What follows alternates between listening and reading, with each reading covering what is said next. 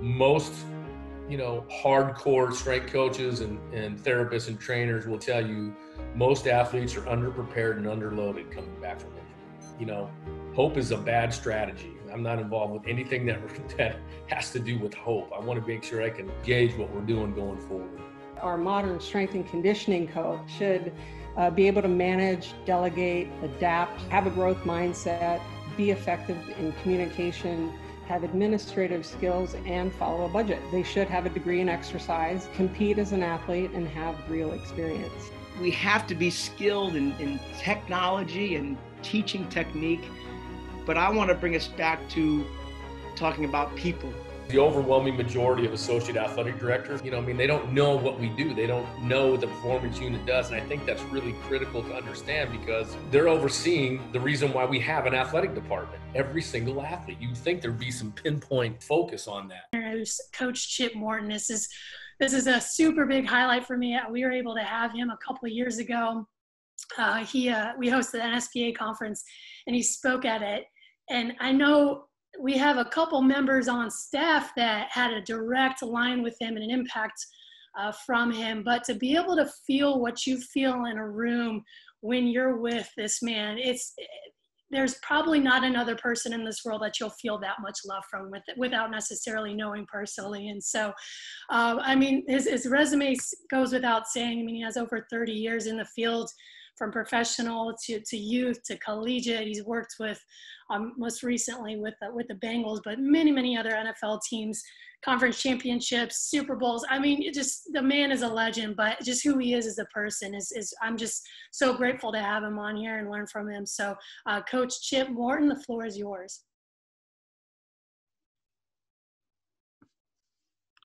There we go. Thank you, Laney, and thank you, uh, Indiana Strength staff. Um, thanks everybody for tuning in. This is my first opportunity. Am I on now? Is that is that on? Tell me if that's on. Okay. Uh, this is my first. So a couple firsts. This is my first time sharing in this form, doing a screen share. So I'm learning. I'm growing today. But um, it's interesting. Thank you for the kind words. And um, you know, Coach Bob and Coach Andrea really they're iconic coaches and and even better people. And so i am thrilled and i'm really humbled um, to be a part of this. Uh, it's a really neat format. That said you know coach coach bob talked about the high performance model. And within that some of the things i picked out he talked about the need for collaboration to make it work the need for communication and humility. Coach andrea she we were on before the before the session and we talked about and she made the statement it's still all about coaching and people and and as bright as she is and and as as much as she does with training and science what stands out to me uh, even in this in these 10 minutes are what people say about her and their experiences with her and that she gets you know things like she gets the most out of people.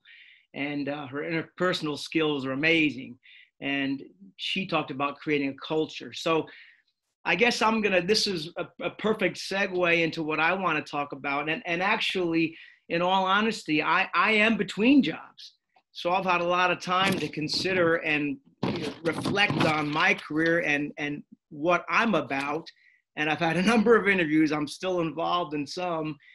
And throughout the interview process, and I'm going to give you all a different view on, different lens on things I'll give you the number I've had. I've had eight formal interviews, hours of formal interviews. And uh, the questions have not been about X's and O's.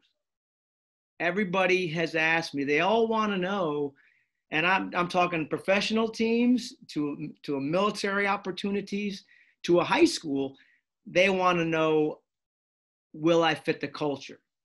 They want to know about me. So it's funny going into the going into the hiring season. I was prepared for, you know, my programming and talk about where I'm at now, and I had all my files set up. But in essence, it wasn't about X and O's. It was about people.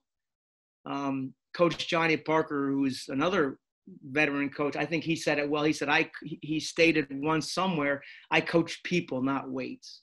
So we have to have the knowledge. We have to have the science.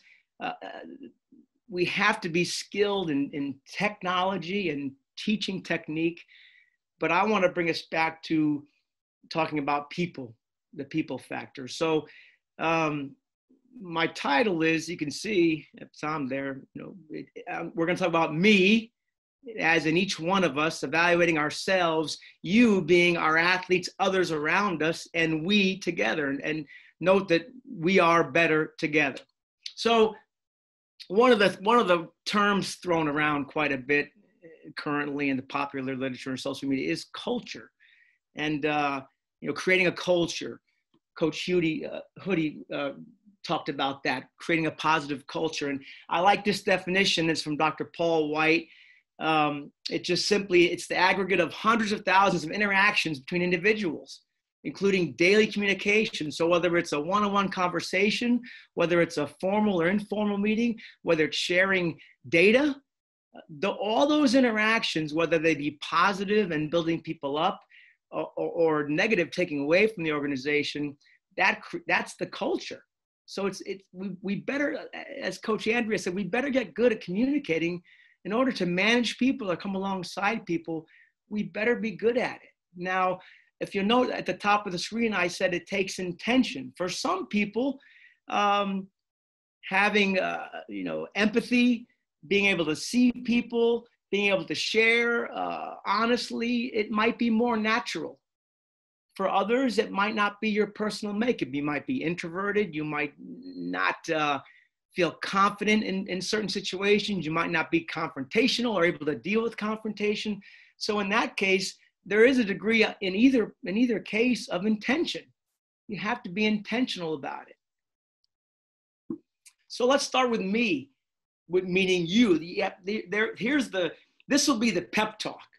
Okay, the first is is finding your calling, and I, and I just rediscovered the word finding your calling. I just rediscovered that very recently in a study, and it's an old, it's an old, you know, Reformation word, um, and it had a spiritual base to it, and, and that's where I'm coming from as well. But your calling is, what are you called to do? What lights up your heart? What is it that excites you? Um, when you're talking about this profession and the day-to-day, you know, making a day-to-day difference with people your calling is, is what's going to drive you. What is your purpose? The more common term now is what's your why? Everybody will understand that one. Do you have a vision for what you're doing? So identify what, what lights up your heart, but then also identify your gifts. What am I good at? You know, I talked about intention the previous slide.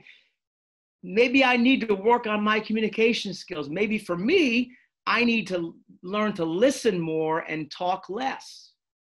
Um, but but what are your gifts? Can you teach? Are you good at teaching? Are you good at caring? Are you good at um, serving? Are you know, what are what are they? And then hone them. Continue to work on them, but also identify the areas where maybe I'm not so good. For me, it's listening.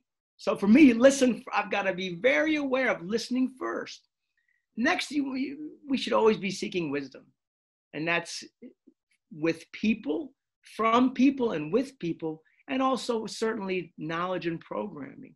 Um, one of the things that you'll see on this call with this lineup, including me, we've all been coaching a long time. And uh, I, I, think there is something, you know, we kid about it. And, um, oh, you know, Coach Leo talked about being an old guy. Well, I'm probably an old guy too, young at heart, but older in chronologically. But there is wisdom to be had from people that have been there before. Um, some of the questions with with this uh, the quarantine time, a lot of coaches. I had young coaches calling me and asking, you know, what what I've never done this before. What should I do, or how do we approach this? What are some thoughts? And we went through the same thing in 2011 in the NFL with the, with the player, with the collective bargaining agreement lockout. Um, we didn't see our players until training camp. And we, we, you know, we sent home workouts at the time. That was in 2011. There wasn't much virtual going on back then. So you sent workouts knowing not having really any way to find to really besides phone calls to find out whether they were doing it or not but we'd meet and meet and meet as a staff throughout the spring and it kept getting pushed back and then finally it came down to we're going to see our players in training camp And so it was Coach Marvin Lewis who actually suggested in a staff meeting that I um, call some of the older strength coaches. Jerry Attaway, who had been with the 49ers for all the Super Bowl years, just he said, call Coach Attaway and see what what he what his thoughts were.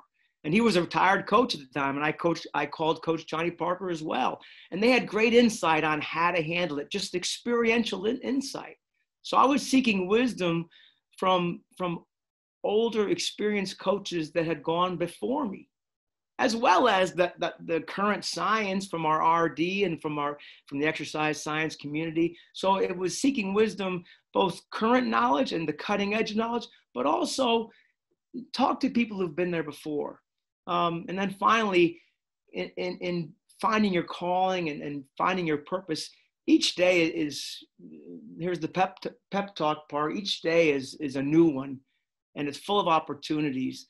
So, you know, live each day, learn all you can, and, and grow in relationship and knowledge and in your skill set. Um, because life is rich, and I say life is rich in that that includes both the hard, the good times and the hard times. Um, richness can be deep emotion either way, but it all makes life better. So experience it. So now here's the here's the real talk. So I just gave you the pep talk on finding your calling. The real talk is it, it's important to, to have a, a, proper view of yourself. Um, and we're talking here about humility. Um, certainly don't think of yourself more highly than you are. That's just humility. And, and Coach Aleo talked about having humility in, in meetings and with athletes and being able to own, own when you're wrong or listen to other people's insight and learn and grow from people. Um, when I was a younger coach, you know, I always called myself an army of one, and I, I tend to have the attitude that if it's if it's going to get done right, then I need to do it myself. Um, and my and my answer to that now is it really is that the best? That's not the best model. The best model is one of cooperation, communication, and with that, we have to be able to see tenderly our own flaws where can I grow? Where am I blind? Do I have any blind spots? Am I missing something? And people will share that with you. Um, you'll see that in your interactions. And, and oftentimes, if you have a trusted friend or trusted peer, eh, I'll ask, I will ask them to deliver, you know, share that with me, but do it gently. You know, be gentle with me so I can receive it. But then just owning your flaws. So confident humility is what you're striving for confidence in that you know your material, confidence that you've, you've been learning all along, you've put time in, you know the X's and O's, and you know how to teach, you know the cues. Um, the humility, though, to deliver that where it's receivable, um, that requires experience, experiences, not, and time as well. Here's where, and this is where so we talked about, I just talked about me, my introspection. Now we're going to get to your athletes and the people around you. And this is where I always started. And this was, um, this was the prayer of, of one of the great military political leaders of, of the ancient world. Um, it's from the Old Testament, from the Psalms, and it was King, it was, those words were prayed by King David. And if we talk about affirmations for people and, and you know who they are when you're dealing with your when you're dealing with people your athletes or your, your family or your friends you, the people you work with the people you meet at the at the supermarket. I try to look look see them in this light. Um, and this was david's prayer. I praise you because i am uniquely and wonderfully made. Your works are wonderful. This i know full well. Um, that is my my affirmation when I when I'm feeling down or when I need to be reminded this is what I go to. And this is a slide, not this exact slide, but I would share this with our rookies when we'd have rookie minicamp at the Bengals. This was one of the first slides when we had our introductory meeting, who we are as a staff and what we're going to do this this this year and welcome to the Bengals. This was the first slide I shared. So we started here. And to be it, it's amazing in that demographic, how many young men, these were talented, these were all drafted players, free agents, these were rookie hopefuls, first year hopefuls on a professional football team. and they had never heard this. They'd never seen heard it spoken to them. And I know it, it, it's it's a it's a faith it's a faith statement. It's a it's a scripture statement, um, but I believe it's a truth. And when when you hear that, and Laney and Tom and, and Andrea and Bob, this is true about each and every one of us. There's only one of you, all of you in the whole wide world, and you're unique and remarkable. So if you start there in all your relationships, you start there in how you see people, how you treat them, how you coach them, how you teach them, how you correct them, um, that's going to be a powerful place to start. So here's where we go with that. So starting with them being, you know, everyone you deal, everyone you meet, everyone you encounter is unique and remarkable. As a, as a coach, I believe in there's a certain amount of devotion that goes on, being devoted to one another in brotherly love. And that's that's filial love. There are different types of love, so and that's a whole nother talk. Um, but brotherly love is a fondness and a care for another person that, that grows over time and it grows because you're in contact with each other. So be devoted. To, it's, it's self-sacrifice. Uh, the, the, the current term would be servant leader. That's the, that's the hot term right now, but it just means being humble and meeting the needs of other people. So you're pouring in. As a coach, you're pouring in knowledge, you're pouring in, you're exhorting, you're encouraging, you're correcting, um, you're listening, you're coming alongside and, and making them better. With that, you're you're pouring in and you're also trying to draw out the best. One of the one of the mottos or one of the motivating factors in the NFL for and for most, I'd say for all athletes is can you make me better? That's what athletes oftentimes want to know. Can you make me better? And if you can, I'll listen.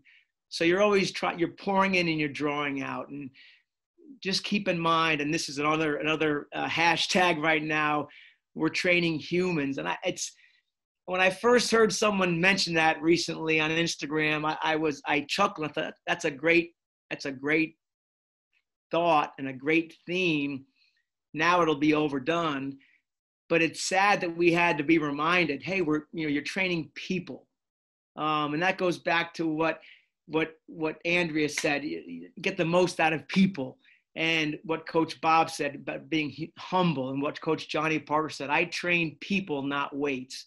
So I guess it's it's good to remember that they are people with with opinions, with joys, with fears, with insecurities, with things that light them up. Um, and it's seeing them and reaching them and pouring in. Um, let's get to that. We shouldn't really have to say that. And finally, we talked about ourselves, introspection. We talked about the people around you, the you, others. So together, uh, what what you're looking for is a spirit of cooperation. And our uh, when I coached for the Carolina Panthers in the in the 90s, Coach Don Bro always talked about the spirit of cooperation, and you could also, in more modern terms, call it collaboration. And realizing that all everyone everyone in the room everyone in your facility everyone on your building they're all unique and remarkable and it brings a there's a diversity there that brings great beauty because we're all different we all have different gifts but together we contribute to parts of the whole. We, we all know we have areas where we can grow and get better in. Um, some of the people around you might be strong in that area. They may provide that that they may fill that gap there and make the whole even greater. So just remembering people's gifting, keeping it, seeing them with that lens, um, and always, always with your athletes and staff, it's always going to be collaboration, which is going to take, which is going to require humility as well. And finally, we thrive. Note that we thrive. We all thrive in a relationship. We were built for relationship. Um, a famous study, the longest longitudinal, I, I, talk about it a lot. The Grant study at Harvard University was started in 1938. And they started, they studied undergraduates at Harvard University. And it was, it's still going on to this day. And they've had a number of directors that run the study. But the, the question was, what makes people flourish? What is it that makes people thrive? And they followed Starting 1938, the sophomore class, they followed them throughout the lifetime and continue to follow to this day. And they, were, they, they wondered, was it professional success? Was it money? Was it um, degrees? You know, academic degrees? Was it uh, the number of children they had, or family success, or, or happy marriage? What was it that caused people to flourish? That ma- what makes us come alive and thrive? And after the statement uh, a few years ago from one of the directors was, you know, 75 years and 40 million dollars later into the grants into the Harvard study, what makes people thrive is love, a caring, caring relate, having caring relationships in life. That was the one common thing. It wasn't title, it wasn't salary, it wasn't success in business or in coaching. It was the relationships, and I think that it's it's imperative like Andrea said, to continue to stay on the cutting edge. And she, I mean, I, am going to listen to her talk again.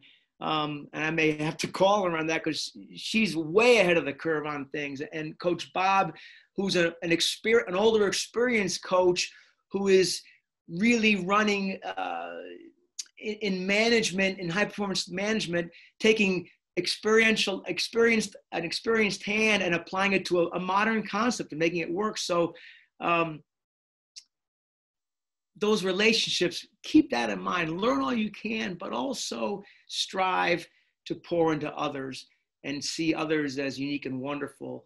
Um, if you start there, everything else will go that much better. So um, I think I went a little long, but I appreciate you listening. So thank you.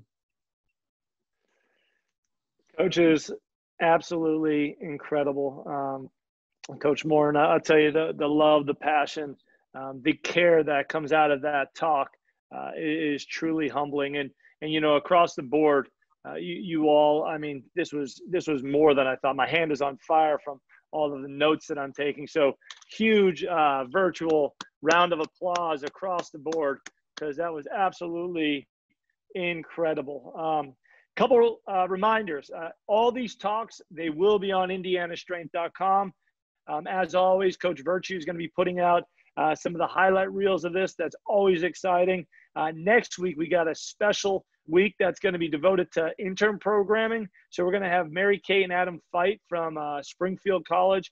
We're going to have Nick Higgins and Becky Bonaventura, uh, Nick from Washington, Becky from Rutgers, collaborating on how they're working with um, that, their, their intern program. And then Laney, Coach Laney Deppy and myself are going to talk a little bit about what we're doing at Indiana Strength. So um, I encourage you, if you're not signed up or not subscribed yet, please go to Indiana Strength, subscribe. And until next week, get out, make today better than yesterday, keep on living. Thank you again for everybody and have a great day. Thank you. All right. Coaches, I'm